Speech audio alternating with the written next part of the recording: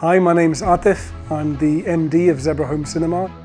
So essentially I'm a consultant, so we discuss things to do with music systems and home cinema systems, media rooms, really whatever the client prefers in their given entertainment space. And not everyone's got a dedicated room or a, a bat cave or a basement or a loft. A lot of our clients these days are using you know, kitchens, lounges, uh, conservatories and other entertainment spaces, but they want really, really good audio. So the challenge here really is to get a fantastic system that performs in an everyday environment. You know, not everyone has got a post-production studio in their living room, nor should they, but doesn't mean that you can't have fantastic audio.